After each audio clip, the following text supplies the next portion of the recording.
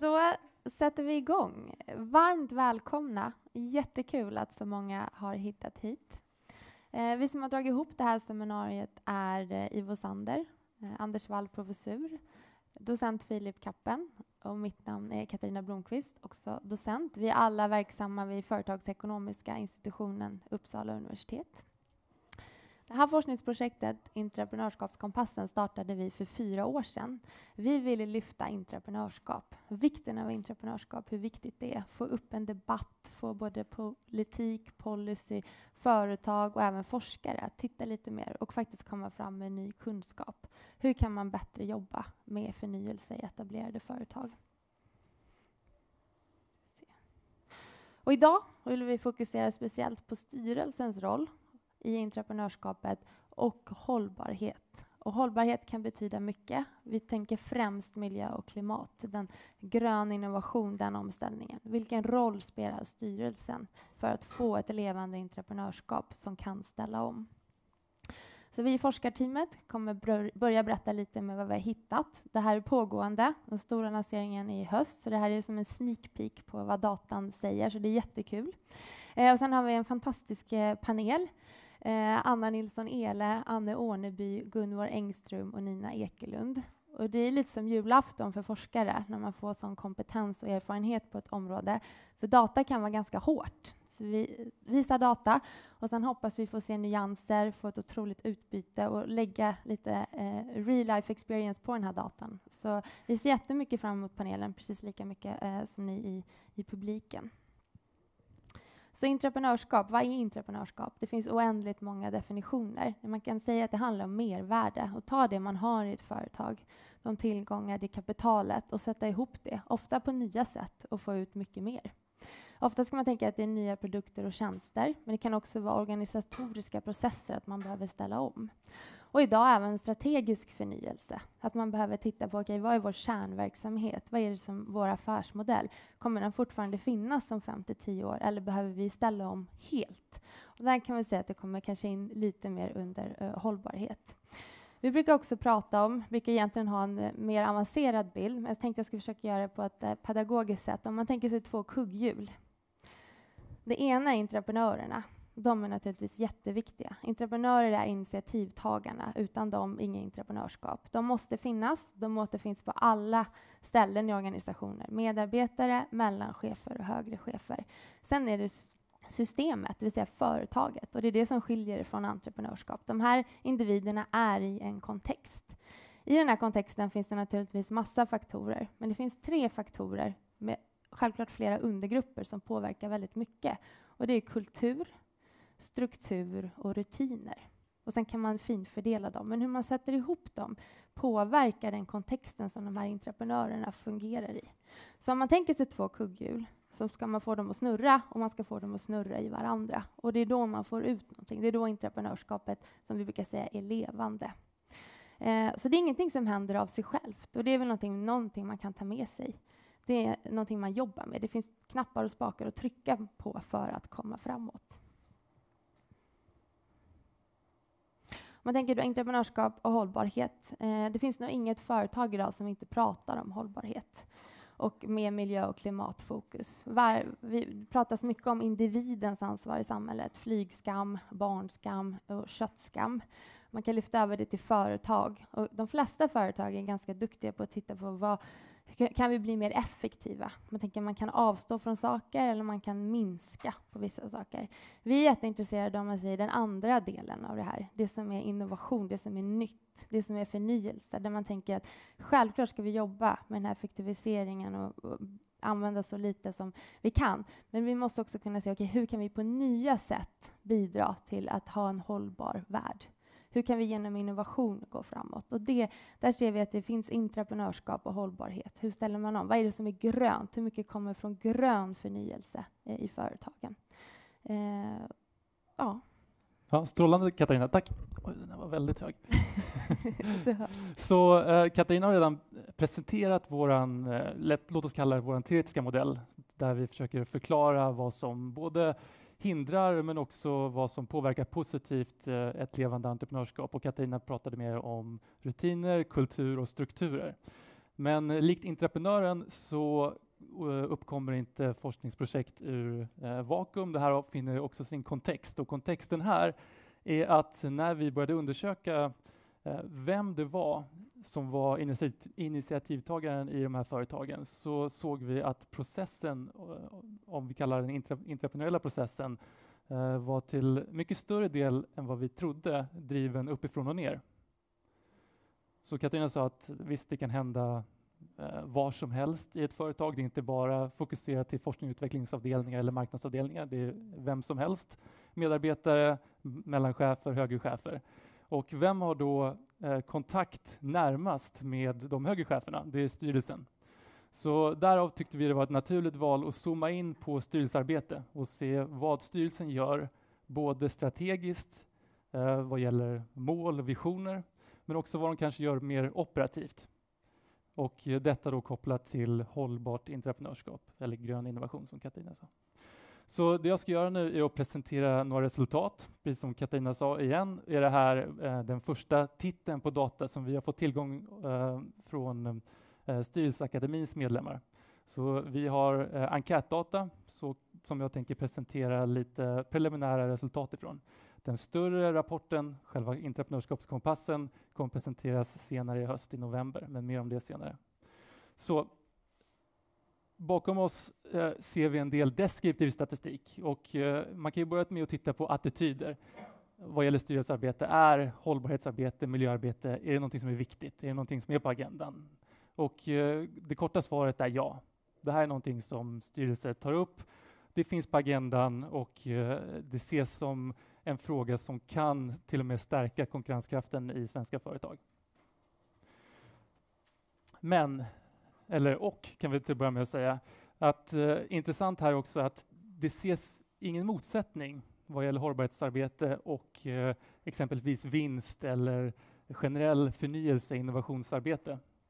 Så att eh, eh, det finns helt enkelt inga ursäkter och eh, styrelsemedlemmarna ser heller inga ursäkter för att arbeta med det här. Så om det här var den mer positiva sidan av väldigt enkel deskriptiv statistik så kan vi gå in på de mer intressanta frågorna kanske. Och då ställer vi oss frågan hur viktigt är det här? Och eh, den översta figuren här visar att, eh, där har vi helt enkelt ställt frågan hur vanligt är det här på dagordningen? Och vi ser spridda skurar här. Det är eh, eh ganska ljummet kan vi säga.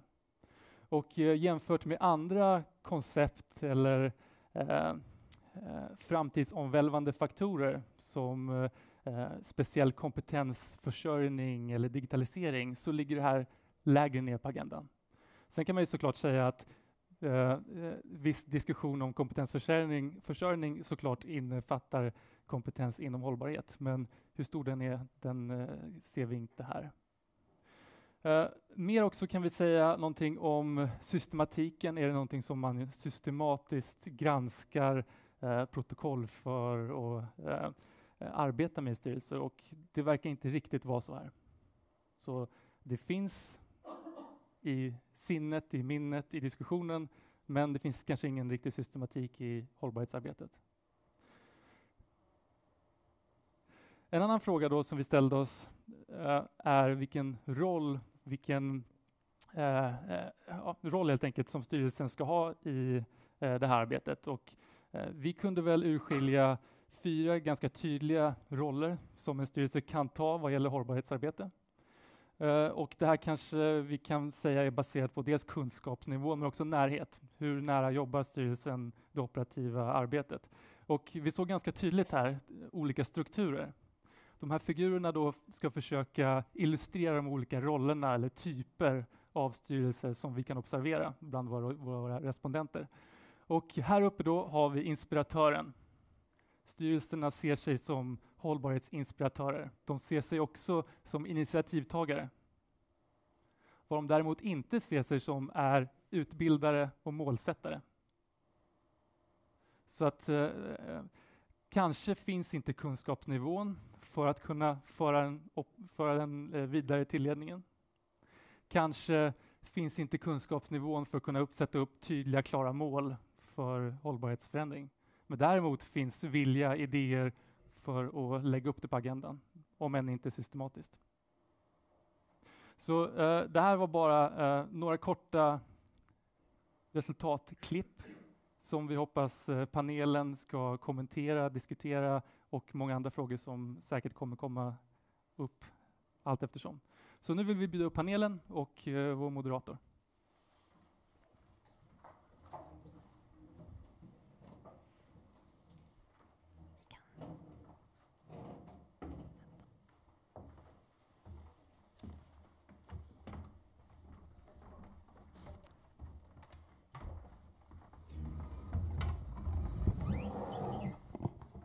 Så medan eh, panelen då tar plats så kan vi ju läsa lite grann om eh, de här paneldeltagarnas bakgrund. Det är otroligt imponerande.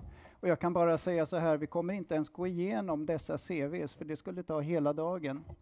Eh, fantastiska personer alla fyra. Vi ser fram emot era tankar kring det här med styrelsearbete, intraprenörskap, hållbarhet. Jag försöker leda er så gott det går, men ordet är ert och jag vet att ni är alla kompetenta att eh, handha de här frågorna. Eh, säger inte mer än så. Jag tänkte börja med den här frågan bara så att alla är med på båten. En del kanske undrar det här med styrelser. Vad är det för någonting och vad gör de här egentligen? Så om vi börjar med det formella, vad styrelsens roll är och meningen med en styrelse. Så jag tänkte Gunvor, kanske kan du ta den frågan? Jag misstänkte väl att jag skulle få den uh, frågan. Uh, jag tycker det är väldigt bra att man börjar med den frågan för det finns väldigt mycket olika tankar om vad en styrelse ska göra, men faktum är att det är ganska väldefinierat. Alltså styrelse ska på ägarens uppdrag eh, ansvara för bolagets verksamhet. Och det gör man genom att eh, identifiera strategier, eh, sätta tydliga mål, göra, sätta ihop tillsammans med ledningen naturligtvis en verksamhetsplan, tillsätta ledning och eventuellt avsätta ledning så att man får ledning som, för, som eh, utför den här strategin och tankarna som styrelsen har satt. Och sen det som kanske saknas här och som är så otroligt viktigt, eh, det är följa upp, följa upp, följa upp, följa upp. Och sen har man ju också faktiskt en kontrollerande eh, uppgift som man inte får negligera. Att, eh, för att det pratas väldigt mycket om styrelser, man ska vara kreativ och visionär och det ska man naturligtvis vara. Men styrelsens uppgift är också att se till att bolaget liksom ändå har en, den ekonomiska hållbarheten. Och den får man inte glömma bort, att det ska finnas en finansiellt, jag brukar kalla det för skelettet, att man har koll på ekonomin, man har koll på pengarna, man har koll på att man håller lagar och regler, etiken. Och den uppgiften att vara också en kontrollerande instans är väldigt viktig. Och det här är det styrelsen ska göra. Så att eh, sen hur man kommer in på de här frågorna, det kanske jag kan återkomma till. Jag tänkte bara lägga till, men med detta kommer också ett ansvar. Ja, det är det ansvar man har mot ägaren. Det är ett väldigt tydligt ansvar. Och eh, jag tror att det stod någonstans i dina frågor, eh, det här med att ansvaret har blivit tydligare. Det har det verkligen blivit. Jag sitter själv i ett antal finansiella bolag och där är det nästan som man undrar om man vågar sitta i styrelsen överhuvudtaget med tanke på det ansvar man har. Eh, med ansvar följer också risk. Eh, ehm, men också att det är roligare självklart om man har ett ansvar och inte bara går dit på möten och har läst papperna och går hem igen. Alltså det, är, det är också mycket mer stimulerande och utmanande självklart. Jag ser att alla nickar. Det här är vad styrelser gör. Någon som vill tillägga någonting? Då har jag en fråga. Den här frågan som håller med hållbarhet att göra. Det är många frågor som kommer upp som vi såg här på styr i styrelsediskussionerna. Hållbarhet har ju kommit upp, har säkert varit med ett tag. Frågan är lite grann när började den här hållbarhetsfrågan dyka upp? I styrelserummen, i styrelsernas diskussioner. Eh, jag vet inte, Anna, vill du, har du någon eh, hågkomst kring just denna fråga? Ja, min, e min egen personliga hågkomst är faktiskt Volvos koncernledning och då var året 1994. En rätt så rejäl diskussion om, om eh, hur mycket just, eh, det hette ju inte hållbarhet då. Det, tentativt hette det clean i den diskussionen vi hade. Men det var definitivt den frågan. Så jag tror, eh, jag kan eh, ja, någonstans mitten av 90-talet kanske. På ett vanligt industribolag då. Jag skulle nog säga för 20 år sedan ungefär, och det var ju precis vad du sa, fast du sa 25 år sedan nästan, i samband med CSR. Så att CSR gjorde att den frågan kom in, i alla fall min erfarenhet. Har temperaturen ökat? Har det varit ljummet ett långt tag? Börjar man nu märka en, en, en, ökning av intresset i temperaturen kring frågan? Eller har det varit jämnt ungefär över åren? Ja. ja.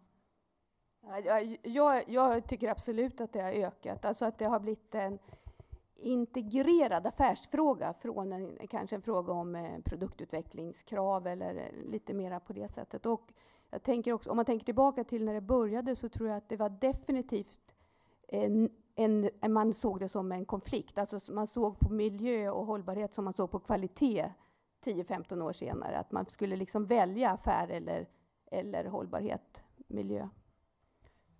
Jag skulle nog säga att eh, det finns lite årtal som kan vara lite kritiska. Till exempel 2015, då kom Parisavtalet. Då ser man ett uppsving av frågan överallt i samhället, såväl i styrelser och i företag. Eh, när obligatorisk hållbarhetsredovisning kom för några år sedan så blev det ett uppsving också. Eh, när vi drog igång Haga, då, för tio år sedan, då hade vi fokus första året på riskfrågan. Eh, det var så ohett eh, eh så att vi bytte till en annan fot och det var lönsamhetsspåret. Så jag skulle säga att lönsamhet har varit en av drivkrafterna som jag ser väldigt tydligt i svensk kontext när vi har pratat om klimatfrågan som jag ser har varit en drivande faktor. Så utifrån de rapporter och studier vi har gjort när vi har tittat på lönsamhetskriterier, vad är det som får företag att agera?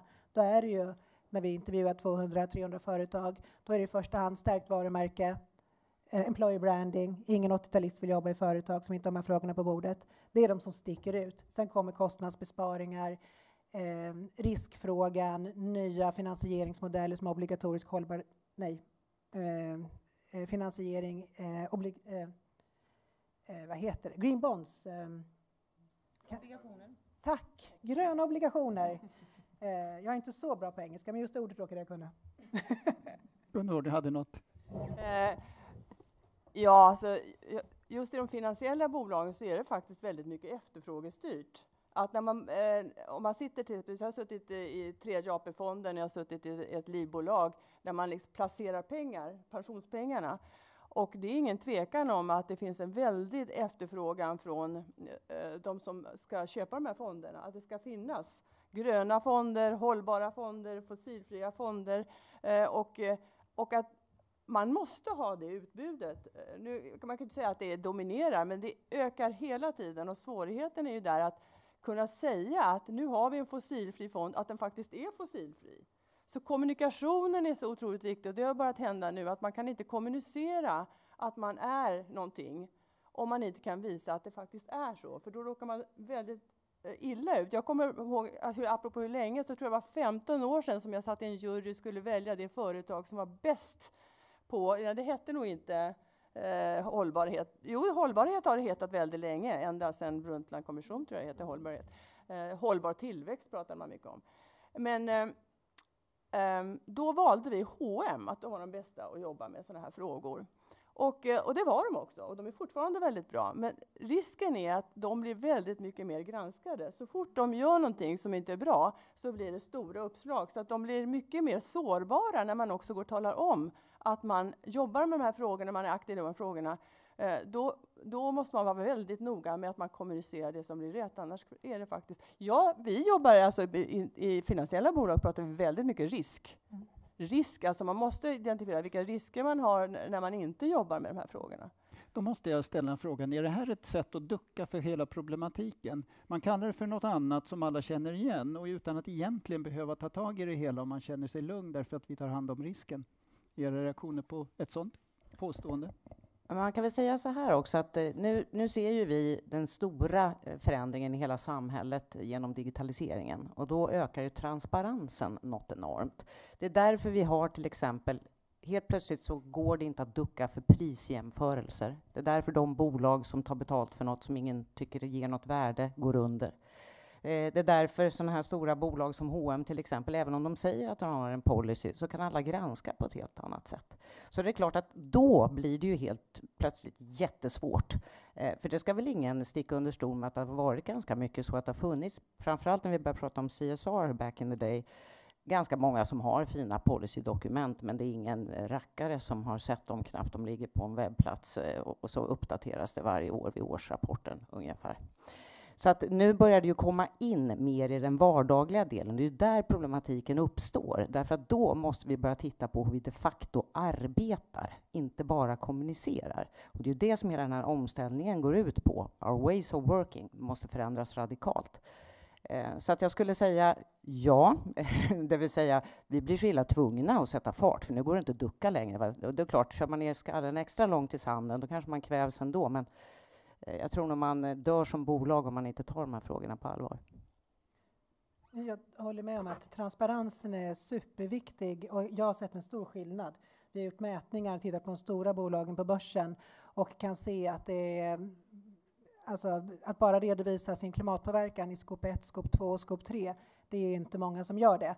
Och skop 1 är kanske 60 procent, nu killgissar jag lite, 50 procent skop 2, skop 3, det vill säga det som ligger i downstreams och upstreams, är kanske eh, fem, sex bolag utan 70 bolag på stora, stora bolag på börsen. Så att utifrån den här undersökningen ni har gjort, miljön är inte på styrelsens bord. Det stämmer. Och frågan är varför är det inte det? Och en undersökning från Ceres visade att endast 17 procent av världens största bolag, 17 procent, har någon ledamot med erfarenhet och kompetens kring hållbarhetsfrågor. Det kokar ner till att det saknas rätt kompetens, bland annat. Jag ser några andra faktorer också, men rätt kompetens finns inte. En annan sak är också, det finns i aktiebolagslagen så finns det inget hinder att lyfta in detta. Och ibland blir det som en diskussion som att det skulle finnas ett hinder. Det finns inget hinder att lyfta in klimat och miljöfrågor. Sätt upp det på agendan. Eh, vad styrelsen kan göra, eftersom man också har den här kontrollfunktionen och kan kräva in rapporter, det är liksom att, att ålägga att man faktiskt eh, rapporterar sina hållbarhetsrisker. Då kommer vi tillbaka till risk, men också sina möjligheter. Det är ju det som är i styrelsens uppdrag, uppdrag att vara en ha en styrande roll och ansvarar också inför den verkställande ledningen där. Och sen en tredje sak som, som jag ser, ju mer frågorna är på dagordningen eh, i samhället nu, eh, så, och vi har den här samhällsdiskussionen, så, så borde ju företagarna i sin omvärldsbevakning, när man tittar, nu vill inte jag säga att klimat är en trend, för det är det inte, men om man tittar på megatrender, Eh, Eh, så är ju klimatet uppe. Och tittar vi på World Economic Forums risklista, som 800 världsledare ändå listar, vad är det som hamnar överst? De sex grejerna som hamnar överst. Överst är massförstörelsevapen, oron för det, för det påverkar ekonomin. Men tvåan, trean, fyran, femman, sexan handlar om klimat, biologisk mångfald, vattenrisk, eh, naturkatastrofer. Allt är klimatrelaterat. Att då som inte är styrelsen plocka in denna fråga är ju förvånande. Då kokar det tillbaka till min första punkt ett. Då kanske man inte har rätt personer i styrelsen och behöver se till att jaga in rätt personer. Jag tror både Gunvor och Anna vill, vill komma in där, men jag ja. måste ändå lägga till någonting här. Vi talar fortfarande risk, vi talar inte hållbara möjligheter. Språkbruket är intressant. Det här mm. är inte en möjlighet, det är någonting som vi måste hålla ifrån oss. Vi kan ja, återkomma till Inte den frågan, fel att prata risk, kan... alla risker kan vändas till möjligheter. Ja. Jag tycker att det är faktiskt styrelsens absoluta plikt att identifiera olika typer av risker och det gör man i alla professionella styrelser idag. Men det betyder, jag håller håller med dig med att risk låter negativt. Men om man säger att om man identifierar riskerna så är nästa steg hur hanterar vi de här riskerna? Och kommer man aldrig dit, då blir det ju verkligen inte värt något. Men apropå aktiebolagslagen skulle jag bara säga en sak, att det som har diskuterats är att det skulle stå i strid med eh, aktiebolagslagens vinstsyfte.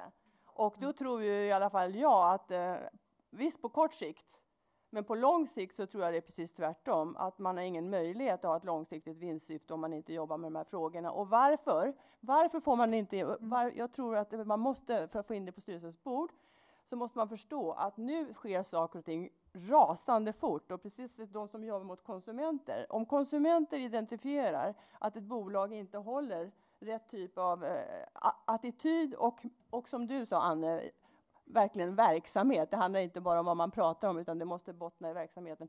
Då kan man rasande fort tappa kunder. Mm. Och det även gäller att kunna attrahera medarbetare. Så jag tror att trycket kommer att komma utifrån. Och det var det jag var inne på när det gäller finansiella, att det finns ett tryck utifrån.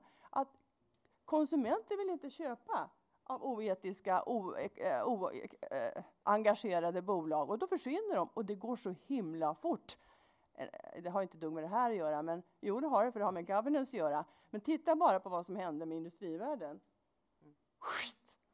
när någonting händer. Det går rasande fort så fort någonting uppmärksammas och det kommer företagen att vara tvungna att förhålla sig Mm. till. Anna, du hade en Ja, fundering då måste också. jag kasta mig in. Nej, men jag, jag, jag, tycker, jag håller ju verkligen med här.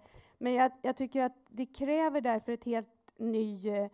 Eh, att egentligen är det inte att kasta in nya kompetenser utan det, det är att bygga kompetens i en styrelse eller i ett företag på ett helt annat sätt. För det svåra med den här frågan och det svåra med transparensen det är ju att om vi tar FNs så är det 17 hållbarhetsmål som hänger samman. Så att bryter man ner dem, ja då vet ni, då kommer man till en 138 eller vad det är, delmål och då är vi fortfarande på en väldigt hög nivå. Så att egentligen måste man ju som styrelse och ledning för en verksamhet verkligen förstå sin verksamhet. Alltså hur, hur spelar min verksamhet roll?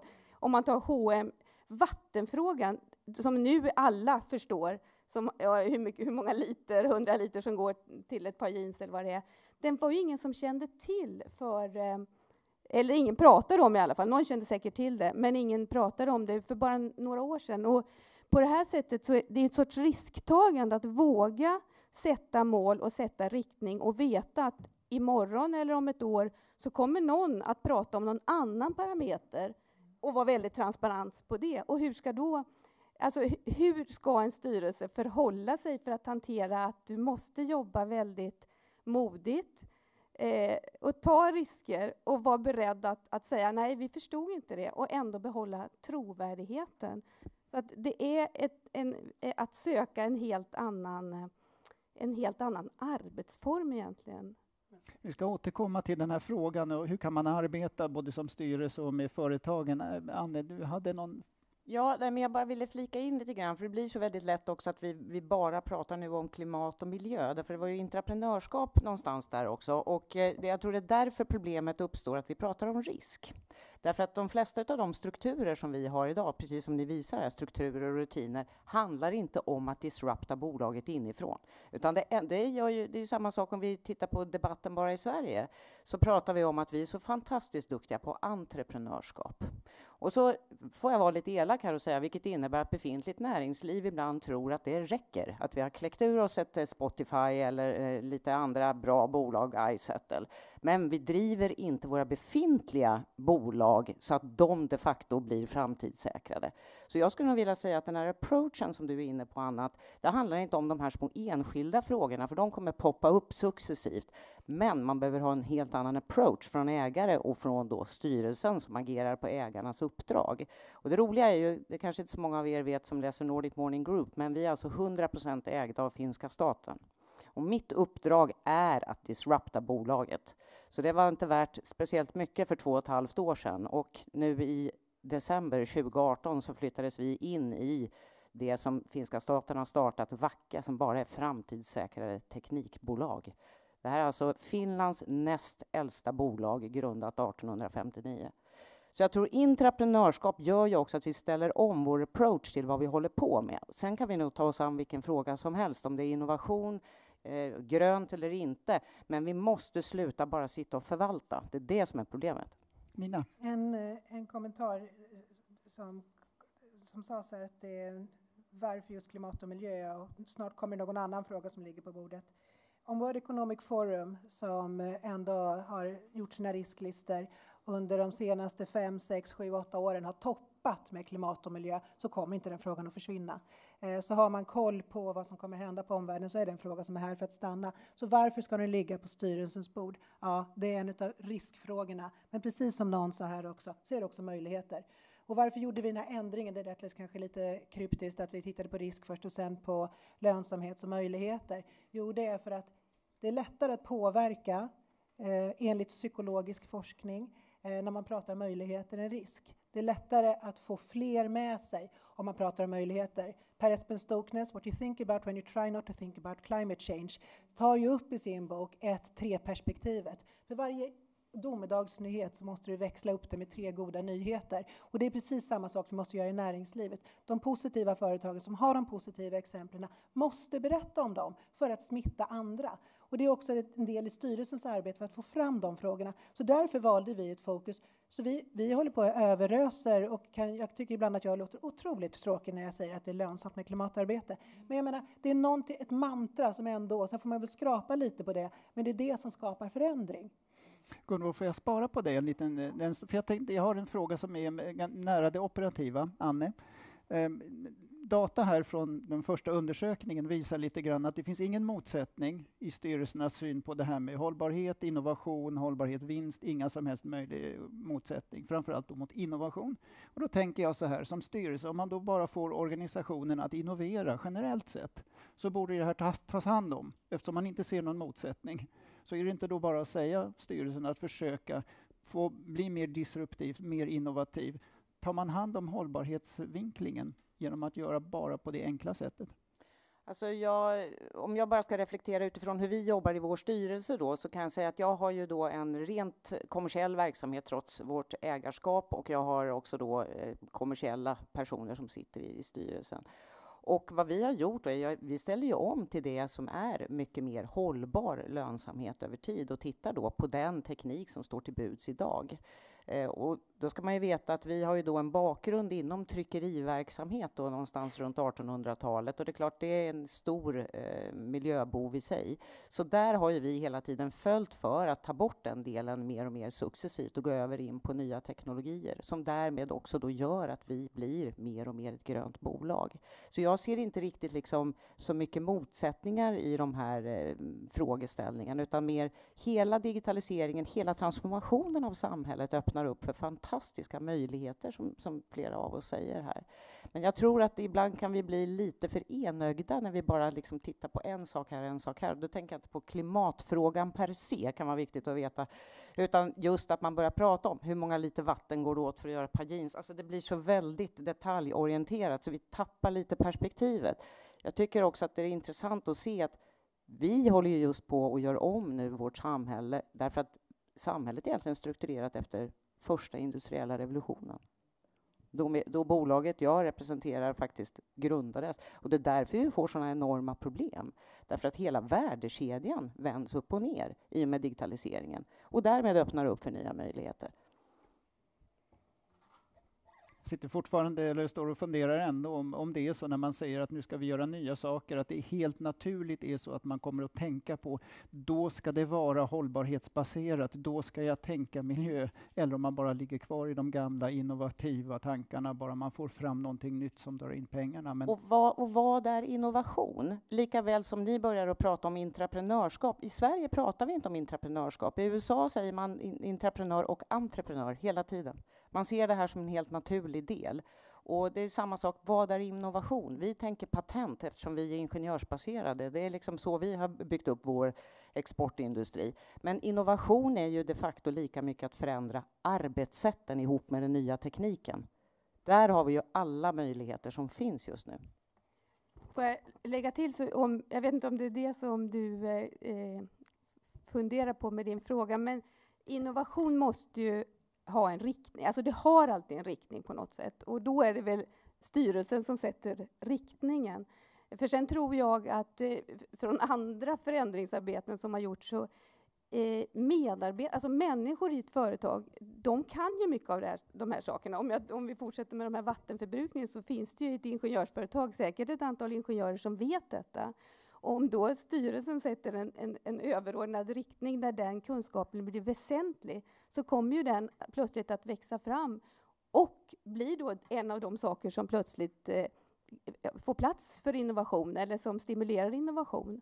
Och det har vi säkert många exempel på allihopa, där någon medarbetare långt borta kommer med en strålande idé därför att den plötsligt tror att någon vill höra om den. Gunvor, Nina i den ordningen. Ja, eh, jag tänker på som styrelseledamot så har man ju en sak att göra och det är att fundera på strategin för det bolag man är sett att ansvara för. Och i den strategin så ska man ha ett helhetstänk. Det ska inte nu ska vi tänka på det, nu ska vi tänka på det, utan vad är väsentligt för det här bolaget ska utvecklas på det sätt som vi vill. Och så att jag tror att alla de här frågorna måste vävas in i, i bolagets strategi. Och varje styrelse och därmed också ledning måste fundera på vad är, vilka är de väsentliga frågorna för vårt bolag. Man kan inte syssla med allting, utan man måste identifiera vad innebär strategin, utveckling, hållbarhet för just vårt, och, och det är de här frågorna då som är väsentliga för just oss. För att annars fungerar det inte. Man, man, är, man kan inte fungera som med Chefirales och hålla på med varenda fråga, utan vad är viktigt för vårt bolag ska kunna utvecklas? Och då eh, handlar det om det här med intraprenörskap som jag tycker är intressant för att jag håller med om det pratar man inte som och för mig är inte det särskilt viktigt. För mig, eh, viktigt är det liksom att det finns innovativa människor och att man hittar den kunskapen. Och det är faran för styrelsen. Att man, styrelsen aldrig ser det som pågår inne i bolaget. För det man ser när man sitter i styrelsen, det är ledningen. Och i bästa fall, vilket jag tycker är jättebra, det är när det kommer in olika eh, chefer och drar sina ärenden. Och för mig är det bland det mest informativa man kan få, därför det är inte bara vad de säger, utan hur de säger, hur ser samspelet ut och så vidare. Det ger otroligt mycket information. Men kanske skulle styrelser kunna också eh, inbjuda till att lyssna på fler i bolaget. Eh, på strategidagar har man ju ofta hela ledningsgruppen med och man sitter tillsammans. Men att för att man ska få kunskap om det som pågår i bolaget, där är man faktiskt helt och hållet eh, beroende av om, om man får den informationen från ledningen. Och det är klart, känner man att man inte får bra information från ledningen så får man ju liksom säga till ledningen eller så får man byta den. Men det är att man är lite avstängd från det som pågår, tyvärr. Ett, ett bra perspektiv här och eh, ett, eh, ett perspektiv på innovation. Det är ju människor med olika hjärnor, olika bakgrund, eh, olika förhållningssätt eh, i ett rum. Då sprakar det. Eh, om alla heter Anders och Johan och sitter i samma styrelse så blir det svårare, tänker jag. Eh, och det är det behovet som vi har nu, att få mera mångfald i styrelsen. Men jag tänker också en sån del är ju faktiskt att få in naturvetenskaplig kompetens, större del i styrelsen också. Och som den här undersökningen från Ceres visade, att om man tittar på de stora bolagen så saknas viss hållbarhetskompetens. Så det där, mångfald och förändring eh, och annorlunda kompetens tror jag skapar den här innovationen. Och en sak också bara kopplat till eh, de 17 hållbarhetsmålen Ehm, som, eh, och, och tittar man på dem så, så är det ju så eh, eh, att kunna få in det som jag ser, det som man pratar om systemvillkor, naturens systemvillkor. I till exempel klimatfrågan då, som är väldigt tydlig, men också vattenfrågan, så ser man ju hur klimatfrågan faktiskt kopplar till fattigdomsmålet, till jämställdhetsmålet, till de, så skulle man dra ett streck så ser man hur allting hänger ihop. Så inte bara utifrån klimatfrågan, men också jämställdhetsfrågan, så kan man ju se hur allting hänger ihop. Så det som på något sätt, den nya kriterielistan, jag skulle säga att det är svårare och svårare att sitta i en styrelse att ha sin omvärldsbevakning, men att också förstå hur komplext det är. Det är ju så oerhört komplext och den, de önskemålen en styrelse eller en företag behöver komma med till politiken eller den inhämtning av forskningskompetens som man ska ta in blir bara svårare och svårare. Det var inget bra svar kanske, att det blir alltid svårare, men, men det, det, men ett bra riktmärke är ju ändå att använda sig av de 17 hållbarhetsmålen och summa summarum bredda kompetensen. Jag har en fråga till, till alla er, om jag får ställa den. Det handlar om det komplexa med hållbarhet. Det är en stor fråga. Det gäller att veta vilken del man ska arbeta med. Och jag vet att ni alla är överens om att för att få någonting att hända måste man veta hur fungerar det här för min organisation, för mitt företag. Och det förstår man, men hur vet man? Hur kan man arbeta med detta? Hur identifierar man vad som är viktigt för just den här verksamheten? Har ni några funderingar kring detta? Jag börjar här då som slut. Men jag tänker att styrelsen bör ju be om scenarioanalyser från sitt företag som man sitter i och också med de nya både geopolitiska risker, megatrender och så vidare hur påverkas värdekedjan uppströms, nedströms? Kommer vi ha tillräckligt med kväve och fosfor i, i början där? Eller kommer, hur kommer det se ut? Kommer den här produkten att efterfrågas? Att förstå sin värdekedja, att ställa frågor om det. Men också förstå vilka affärsrisker uppstår. Genom att ställa de frågorna och få tillbaka det. För då tvingar man ju, om inte den analysen är gjord i företaget, att få tillbaka det till styrelsens bord. Jag, jag håller verkligen med i vad du säger och jag skulle vilja alltså, ställa en fråga själv som jag tycker är väldigt svår med detta. Bara jag slipper svara. ja, jag tror att alla tre bredvid mig här har en idé till ett svar i alla fall. Nej, men det är ju alltså att gränslinjen mellan styrelsens och ledningens arbete förskjuts. Alltså, hur, hur undviker man att styrelsen blir för op, alltså strategiskt operativ, eller vad man ska kalla det för? Hur, hur, alltså det är enklare att sitta i en styrelse och fråga efter vissa tydliga ekonomiska mål och kanske med någon medarbetarindex och lite så. Och så säga till ledningen att kom tillbaka, det här känns inte bra, kom tillbaka med en handlingsplan. Men eh, hur, hur liksom ska man förhålla sig till det här gränssnittet mellan ledning och styrelse i en ny tid där vi alla då är liksom utforskande? Ja, jag gillar ju den svenska modellen. Jag tycker inte att styrelsen ska bli operativ, utan jag tycker, det här, jag, jag, tycker verkligen att vi har en pärla i Sverige, att skilja på ägande, styrelse och ledning, och man ser de rollerna. Eh, så det tycker jag vi ska vara rädda om. Men var, hur ska, det din fråga var, hur ska man veta att man jobbar med rätt frågor? Och då tror jag det, det som vi har varit inne på, man måste växla hela tiden genom att titta på omvärlden. Och mitt favorituttryck är kundbeteenden. Att man måste ha koll på hur kunderna resonerar, hur kunderna tänker och ta det in sig och vad händer i omvärlden. Kopplat till det som, ni, som du har lyft särskilt om intraprenörskap. Vad händer i bolaget? Och hela tiden ha den här växelverkan inne i styrelsen. Och sen får man ju se till att man eh, vi har ju inte nämnt ordet valberedning här än. Eh, och det tycker jag är en, det kallas ju för det fjärde benet då i bolagsstyrningen och det börjar ju bli mer och mer så att man har valberedning, inte för att ta bort ägarens roll, absolut inte ägarens roll är central, men att man ändå har en valberedning som tittar lite bredare, lite bredare kompetenser. Kan, och det är inte bara handlar om eh, kön och mångfald, utan att man har olika typer av erfarenheter som just kan bolla in de här frågorna i styrelser. Så att det blir, och det, det måste jag ändå säga som, Eh, nu låter jag så fruktansvärt gammal, jag har suttit i 35 eh, styrelser i 35 år, tror jag, olika sorter. Och det är inte riktigt så, utan eh, i styrelser, väldigt många styrelser, är det fortfarande, man har sin dagordning, är det någon eh, föregående protokoll, budget, har vi hållit den, resultat och balans, eh, så har man en strategi och strategin är nästan alltid helt och hållet förberett av ledningen och så säger man några ord. Eh, nu låter det jätte fånigt för att det finns många styrelser som är mycket bättre, men tyvärr är det väldigt stereotypt många gånger. Och, och, det här tror jag vi måste hitta ett alltså, öppnare sätt att jobba i styrelsen. Omvärld, mycket mer in, gärna entreprenörskap, mycket mer in i styrelsen. Olika typer av människor, unga, gamla, olika från olika sorter, in i systemen. Och sen kan man inte göra mer än att göra sitt bästa utifrån de utgångspunkterna helt enkelt. Jag tycker det där låter som ljuv musik, Gummor. Eh, det här var ju faktiskt precis vad jag eh, krävde för att ta det här jobbet eh, när jag pratade med ägarna. Där jag sa att jag vill ändra på styrelsens sätt att arbeta. Och det här som du beskriver, att det kommer andra människor ifrån den operativa verksamheten och pratar hela tiden. Det, så gör vi konstant.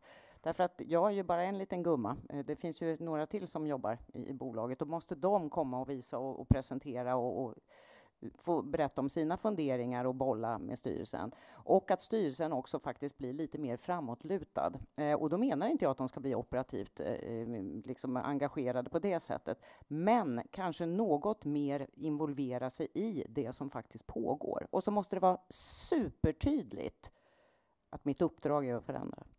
Så att jag har mandatet. Och då måste också mina medarbetare ha det mandatet. Så jag brukar säga det att när de söker jobb hos mig att ja, då står det så här på visitkortet, men du har ett uppdrag vid sidan av och det var med och driva förändring. Och det tycker jag är jätte, jätteviktigt, därför att det är först då man börjar att se till att man, man skapar det här utrymmet och får människor också att vilja göra mer. Då blir det innovation, då blir det nya arbetssätt och då blir det faktiskt att nyttja en massa begåvade människor. Eftersom styra, styrelsen har en eh, strategiskt styrande roll så kan man alltid ställa frågor. Eh, och alltid, bör alltid få svar. Och det är därför man ska ställa de här frågorna om trender, om, eh, om geopolitiska risker, om värdekedjan och så vidare. Det är alltid okej okay att ställa frågan och det tror jag är någonting som behöver tydliggöras ännu mer. Se till, sitter du i en styrelse, ställ frågor. Ja, så bra. Jag ställer upp 100 procent. Bra. hade jag velat säga själv. Okej, okay. ni kan kopiera. Alltså, Alla ställer upp på det. Fråga, fråga. Ja, kan man vara ännu mer specifik och ibland tänker man målsättningar. Kan man bli, ska man bli, kan man bli så specifik att man faktiskt ställer upp hållbarhetsmålsättningar som man följer upp? Eller är det för en detaljerad, för, um, för detaljerad ansats? Ja, jag tror man måste göra det. Man måste våga ställa mål, för det vet vi också att det man målsätter, det är det som, som eh, blir gjort på något sätt. Så, men utmaningen är väl att ställa det då på ett, in, på ett öppnande och inte instängande sätt. Men jag, men jag tror att eh, det kan vara en utmaning för styrelsen, för sin, egen, alltså sin egen uppgift, att, att det är en kompetent styrelse när man lyckas ställa eh, mål som är relevanta för verksamheten. Så att man flyttar sig till den här rutan som ni hade, eh, så, eh, faktiskt. Så uppföljning, alltid viktigt. Jag reagerade lite på den här rutan, tänker du, den här med bilderna, de här. Ja. För att det är klart att det är jättehärligt att ha en eh, inspirationsintresserad eh, eh, styrelse och, och den längre ner var initiativtagare. Men att inte sen vilja eh, hålla på med vare sig mål eller utbildning. För mig blir det lite så här, då blir det för mycket varmluft. Eh, så att eh, jag tror att det där visar också att det inte finns så mycket erfarenhet kanske till de här nya frågeställningarna som kommer upp. Och som du säger, försöka gemensamt då med, med den operativa ledningen hitta de här målsättningarna. För det är ju nu sa du följa upp fyra gånger, Gunvor, i början när du presenterade vad styrelsen var, var liksom ansvarig för. Och, och så ser man den bilden, då blir man ju lite rädd. va? Um, för att det är ju kul med initiativ, men följa upp ska man också göra. Men det här med mål, det kan ju, det kan ju vara jag tror att det är väldigt konstig styrelse som man inte säger att man sätter mål, för ofta har man ju någon form av avkastningsmål eller att man ska följa budget, eller det finns ju massa mål. Men jag tror att, nu tänker man på den här typen av mål och det är inte lätt att sätta. Jag tror att, det är, att man inser svårigheten att sätta mål för liksom, eh, de här stora frågorna som inte är ekonomiskt. Och då, då kanske man bangar lite för det och sen kan man ju vara medveten om att Sätter man målen fel, då blir det fel. Alltså det är det som är svårigheten med nyckeltal. De är fantastiska, som du säger. Det är så man mäter och följer upp. Men sätter man fel nyckeltal så är det jättefarligt. Så jag tror att det är lite rädsla om man säger att man inte sätter mål av de här norma, mer än de här normala målen som man alltid sätter. Jag skickar med några eh, eh, mål som, eller frågor som man bör ställa i, i, för att vara lite konkret och eftersom det ändå är hållbarhet på temat. Vad har företaget för klimatmål?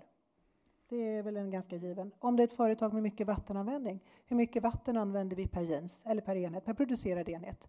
Eller vad ligger CO2-utsläppen per producerad enhet? Så att man kan kolla både på absoluta tal och relativa tal, så att man får in det. Och det skapar ju också bra när det gäller konkurrenssituationen, att få in det relativa. Sen också att löpande då kolla på det klimatbokslut. Har vi ett klimatbokslut i det här företaget där vi följer upp? eller ett miljöbokslut där man följer upp på nivå så man också kan benchmarka sig mot sina konkurrenter. Att börja fråga efter detta ska vara lika självklart som att fråga efter de finansiella resultaten. Ja, um kanske är det första gången jag känner jag är lite tveksam om att man har e-, egna redovisningar kring vissa specifika områden. Jag tror att det, är det som har börjat ske på senare tid, att man inkluderar hållbarhetsmålen i hela affärsverksamheten, är en bra är en bra väg. Eh, om man bara återgår till mina, de här finansiella företagen, att istället för att eh, säga att nu ska vi välja bort vissa liksom, tobaksbolag eller Walmart, man inte tycker de följer de fackliga så liksom sätter vi in i affärsverksamheter. Vi ska investera, välja till de bolag som vi tror är långsiktigt vinst, lönsamma, därför att de jobbar med de här frågorna. Så jag är mer inne på att istället för att ha specifika hållbarhetsredovisningar, miljöredovisningar, så ska man ha en, en helhet där man väver in de här. Alltså det är så jag ser på frågan. Mm. En, en tanke där, det, det har ju kommit ganska många hjälpmedel för styrelsen att använda sig av. Vi har GRI sedan tidigare. Vi har CDP, Carbon Disclosure Project, man kan titta på den finansiella sektorn, men också TCFD, Task Force for Climate Related Disclosure, som har kommit som ett stöd. Det finns väldigt mycket man kan hämta där, där finanssektorn själv har satt upp eh, gemensamma system för att ha koll på olika funktioner. Men ibland är det inte relevant att ställa frågan vad har man för klimatmål i skop 1, det vill säga de egenägda utsläppen. Ibland är det intressant, vad bidrar vårt företag med för att ställa om i transformationen. Vad bidrar vi med? Men det gäller ju att veta, om man går in i ett företag så vet man väl om, om det är ett företag som ska jobba med att minska utsläppen eller om det är något som bidrar till transformationen, som till exempel vindkraft eller solkraftsbolag för att förenkla lite. Jag har en, en, fråga till, till alla er och så småningom, eller Anna, varsågod. Jag måste, nej, men jag, måste jag, säga något. Jag måste säga något. Nej, men jag, jag, jag, tycker, jag vill verkligen eh, förstärka det du säger, att styrelsen behöver ju inte sitta och snickra nya grejer, utan man kan ju börja med att titta vad som finns och välja ut. Och, och sen, sen eh, så fick jag en annan association, och det är ju faktiskt att, att tänka över ansvaret man har att gå före på ett synligt sätt. Mm. För det är ju det som, som de som är först faktiskt gör, alltså att de, de tar eh, GRI då, eller, eller vad det är, eller eh, hållbarhetsmålen och säger att vi gör offentligt, och som du nämnde med H&M också. Eh, alltså, så att jag tror att, att styrelsen har också det ansvaret att, att, att verkligen ta ett större ansvar, ett samhällsansvar. Men en fråga till er då. Vi ska avrunda så småningom och lämna lite plats för, för frågor också från, från publiken här. Jag har en, en, en fråga, det gäller konkurrenterna och ni lyfter upp den frågan. Eh, och nu mm, fantiserar jag lite, men jag tror inte att det är helt fel. Vi har andra länder, Kina till exempel, som brottas med väldigt stora miljöproblem. Man är medveten om det. Jag tror att man arbetar på högtryck med väldigt stort fokus på de här frågorna. Man vet att man måste göra någonting. Frågan är vi på banan? Jag tänker lite grann, det här vet vi att vi kommer att ligga först. Är ja en risk, men det är bara så det måste vara. Är vi på banan i Sverige vad det gäller styrelser, frågan att driva den? Vad, vad tänker ni kring det? Jag tycker att vi är på banan. Jag, jag, tycker att vi kan göra jättemycket. Nu kommer jag inte ihåg siffrorna. Jag borde göra det, för Darja då, Isaksson, som är, är GD för Vinnova, hon drog just de här siffrorna. Att, att om man tittar på Sveriges påverkan i förhållande till vår storlek, så är det en faktor tio kanske, vi är väldigt små då, så det är påverkan. Men, men om vi, vi är på banan i ett antal eh, frågor kring hållbarhet där vi verkligen kan göra skillnad genom export, genom att vara modiga på det sättet kanske, genom eh, ja, att, att bidra i det internationella arbetet med partnerskap och liknande. Så att, och våra företag förstås som är verksamma internationellt, de värdekedjorna, att stå upp för vissa hållbarhetskrav där också jag får lite blandade tankar när jag hör om vi är på banan eller inte. Undersökningen visar att vi inte är på banan, skulle jag vilja säga. Att det finns mycket kvar. Och eh, om vi säger att vi är på banan så blir det ett problem i sig på något sätt, för då kanske vi inte förändrar oss. Men, men, men och sen när vi har gjort intervjuer, vi gjorde för Nordiska ministerrådet så gjorde vi, intervjuade vi 38 eh, vd och styrelseordförande för de största bolagen i Norden. Så Storebrand och eh, Stora Enso, Carlsberg Group och Ikea och så vidare. Och så ställde vi frågorna till vdarna eller styrelseordförandena om deras syn. Når ni Parisavtalet? Och hur ser ni på klimatfrågan och lönsamhet? Och alltså, man blev ju otroligt förtjust i alla faktiskt som svarade. Och de la tid på att svara på det här i personliga samtal. Att klimatfrågan är på på, på ledningens bord. Och då vet vi inte, styrelse eller ledning. Eh, och eh, man vill vara med och bidra, både med, med att minska sina egna utsläpp, men också med att påverka eh, Europa och världen med det man gör. Och man vill se en mer ambitiös klimatpolitik för att det stärker eh, Nordens företag. Det intressanta var att det här var då stora företag och det, lite vad vi har sett i de, när vi har jobbat med detta under lång tid, det Riktigt stora företag har frågan på dagordningen. Så det är väl en del av svaret. Och för att man har maskineriet. Och man också har sett trycket i värdekedjorna och från kunderna och framförallt konsumentnära företag ser detta. Medan att det finns en stor batch företag som överhuvudtaget inte ens har börjat. Och det är skrämmande. Gunvor? Ja, nej, men jag tror väl att den här undersökningen, den är väl gjord huvudsakligen bland små, om jag säger Styrelseakademin, vi är ju mest fokuserade på små och medelstora företag. Så jag tror precis som ni säger att de mm. stora industriföretagen, exportföretagen är med. Sen finns det många små nischade bolag som verkligen jobbar otroligt målmedvetet med att skapa, inte minst liksom i den här smink eh, skönhetsbranschen. Allting ska ju vara ekologiskt, ekologiskt och miljövänligt. Så att, och även vissa klädbolag. Alltså, jag brukar använda Stella McCartney som hon var tidigt ute, så fantastiskt bra att jobba med mm, utan att använda några djur och sådär hela, eh, hela sin karriär.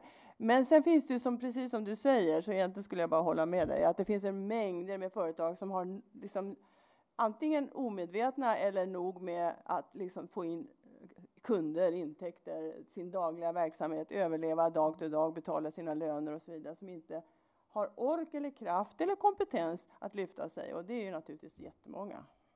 Mm. Nej, men det där på banan, jag får precis samma eh, känsla som eh, Nina beskriver här, att eh, ja och nej.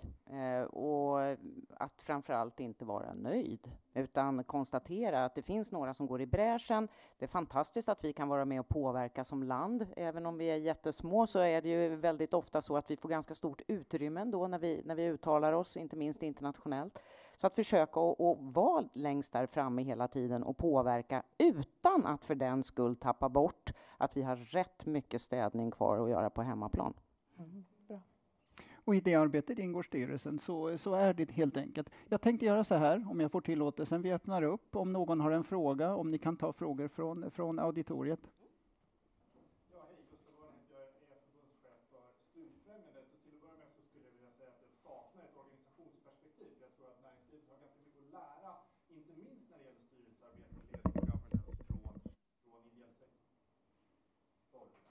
Och den här ja, nu funkar den. Eh, och I det så tänker jag att eh, när vi jobbar med rekrytering av medarbetare så tittar vi ofta bortom formella kompetenser, för vi ser att man kan lära sig det eh, och det handlar mycket mer om personlighet, eh, erfarenheter och perspektiv på saker. När det gäller styrelserekrytering, inte minst kanske i stora och medelstora bolag, så, så, är det mycket sämre. Och då ska man ha gjort sin karriär i näringslivet och då blir man ganska stöpt i en lik form. Och man slutar i änden med Johans och Andersar och, och sånt.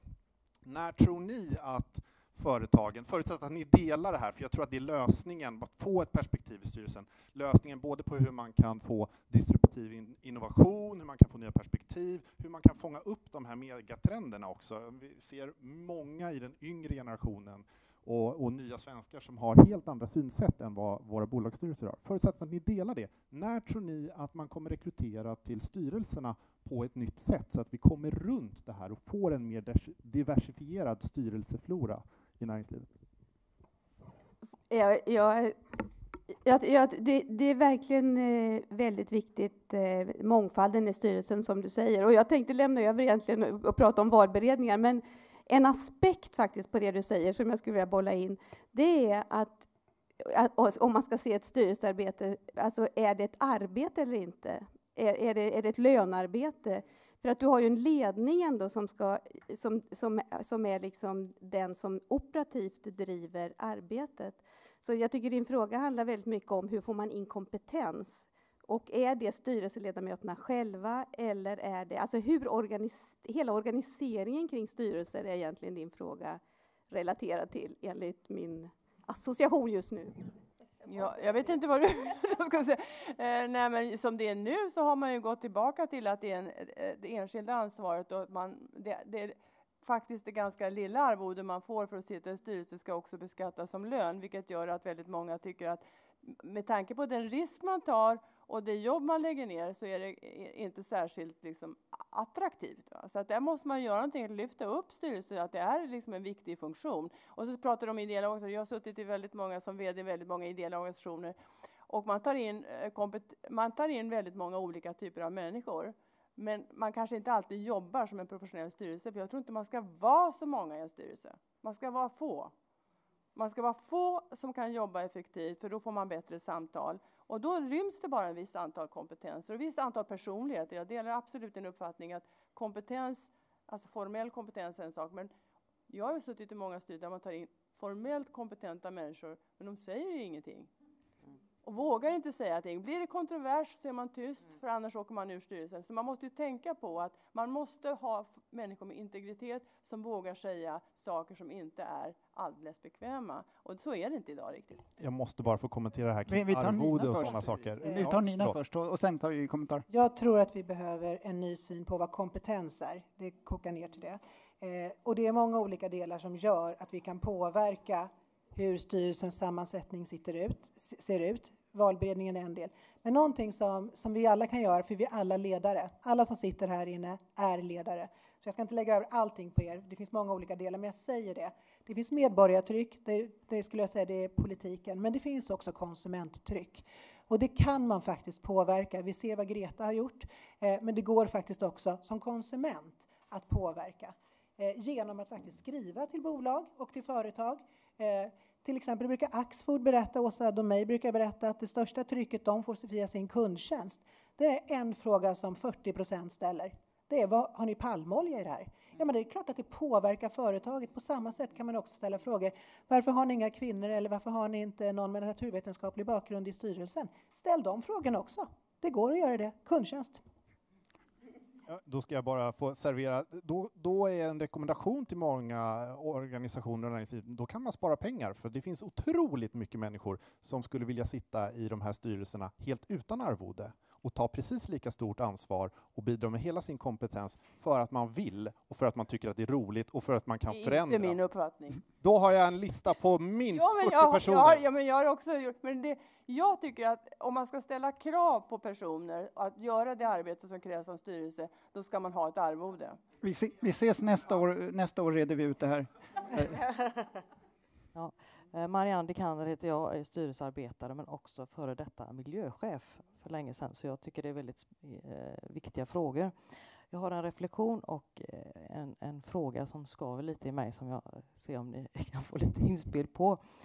Eh, för frågan var ju vad styrelsen har för, för roll i det här. Jag tror att rent generellt så spelar styrelsen en större roll nu i alla frågor i och med att konkurrenskraften ökar. Och på styrelsens bord är ju hållbarhetsfrågorna uppe överallt och det är väl utav olika skäl. Dels att det har kommit krav, eh, till exempel hållbarhetsredovisning, dels att det är ett yttre tryck både från kunder och från eh, eh, att kunna anställa, men även från affärsmöjligheter. Så att det kommer från alla håll. Och mål är en sak, men jag tror inte man ska underskatta kraften i att ställa frågorna eh, i styrelsen. För du får upp medvetenheten om det organisationen om man ser liksom att detta är någonting som styrelsen bryr sig om. Eh, och så återigen eh, jobba med det. Och jag tror också att styrelsen, eller jag vet, vi har fått hjälp av de 17 målen. Nu är det så tydligt, liksom, vad menar vi med eh, hållbarhet? Nackdelen med de 17 målen är att det är så brett. Och bara de 17 är för breda och eh, 138 nedbrutna. Och jag kan då se i många bolag att i alla bolag kan man faktiskt plocka de mål som man ändå gör i sin affärsmodell. Vilket gör att man kommer ganska lätt undan. Eh, och det blir inte den här förflyttningen som vi ändå måste eh, vilja få till slut. Hur Har ni någon bra metod? Hur implementerar man de här 17 målen så att vi tvingas se på annat utöver vår affärsmodell så vi får en förflyttning? Liten fråga sådär. Ja. Ska vi ta en Nina? snabb association på din fråga är ju egentligen om man tänker ut styr, om man bara tänker, det är att, att börja försiktigt och sätta ett nytt mål som man aldrig har gjort. Välja ut någonting som är not business as usual. Att det första steget är väl ofta det svåraste. Nina och Anne. Ja, företag i framkant eh, har eh, i sina årsredovisningar eh, förhållit sig till de 17 målen. Eh, flera har sagt att de här påverkar vi idag. Så har man börjat lista. Så visar det sig efter ett tag att oj, det var visst fler än vad vi trodde. Eh, för att helt plötsligt kommer fattigdom in fastän man inte tänkte det. Eh, så att bara det att lista i sin årsredovisning och vara transparent med hur ens företag förhåller sig till de 17 hållbarhetsmålen är intressant. Sen om man ska erövra nya, eh, oftast så har man redan då en bra koll. Det kanske är så att man inte har någon koppling till utbildningsmålet eller någonting.